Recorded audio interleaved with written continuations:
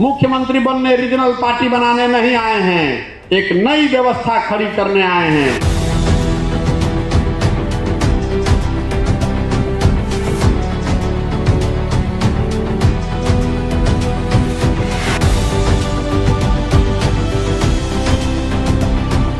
बिहार में विकल्प के अभाव में कई बार आपको गलत भ्रष्टाचारी, गलत लोगों को भी वोट करना पड़ता है। विकल्प बनना चाहिए। तो आप बताइए कि बिहार में नया विकल्प बनने का प्रयास होना चाहिए कि नहीं होना चाहिए?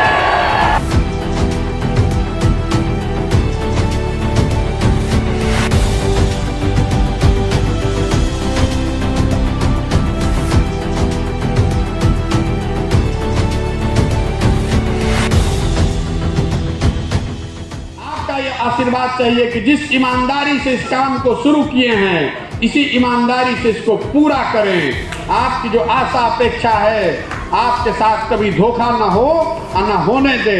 इस बात के लिए एक बार हाथ उठाकर आशीर्वाद दीजिए। आपका आशीर्वाद लेने आए हैं।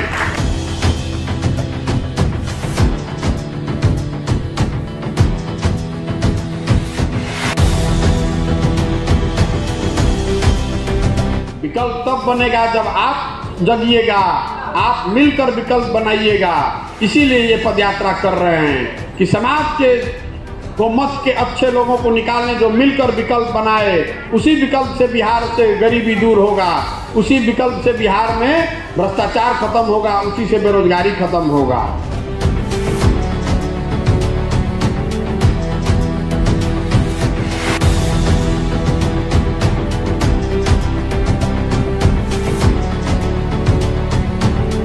जन सुराज का पहला संकल्प है, अगर जनता ने मौका दे दिया, जनता की सरकार बन गई तो साल भर के अंदर जितना लोग यहाँ पर रोज़गार ढूंढ रहा है, जितना बाहर चला गया है, उसको बुलाकर यहीं पर पंद्रह हज़ार से बीस हज़ार का रोज़गार का व्यवस्था किया जाएगा।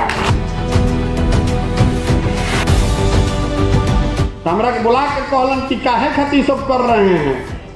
बखेड़ा, हमारे साथ रहिए, हमारे बात आप ही ना हैं। तो हम उनको हाथ जोड़े कि ना है सर अब फिर फिर सियार सरकू की यहाँ ना आई हम।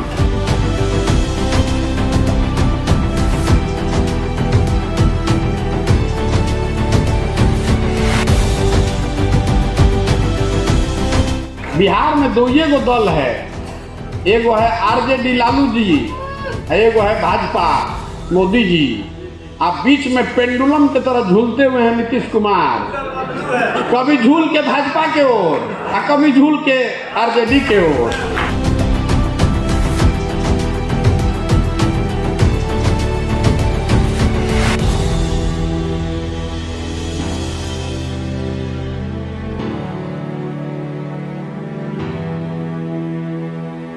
अब उनकर चिंता एके बा कि हम मुख्यमंत्री बनल रही, बाकी बिहार में जौन जरा जौन करे के बा भाई करो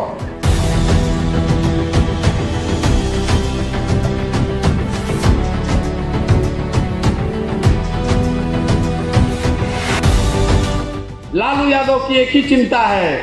हम और हमारा परिवार, हमारा वर्चस्व बना रहे। यादव कहीं हमसे छिटक न जाए, मुस्लिम कहीं हमको छोड़ न दे। हमारा वर्चस्व बना रहे। बाकी बिहार में जो देखा होगा, देखा जाएगा।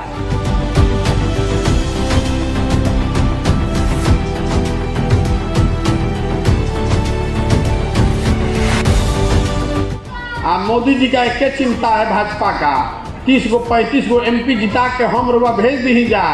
अब बाकी बिहार तो बढ़ लेगा पिछड़ा स्टेट तो रहो भैया अपने में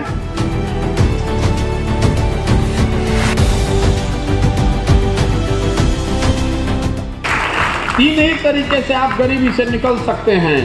या तो शिक्षित होकर नौकरी पा लीजिए, खेती करके बढ़िया पैसा कमा लीजिए और चाहे उद्योग धंधा कुछ करके कमा लीजिए।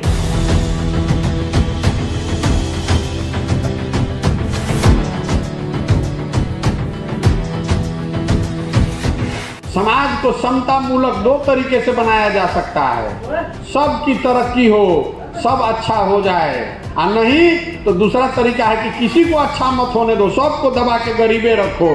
तो नीतीश कुमार वही सबको गरीब बना के समता मूलक समाज बना दिए।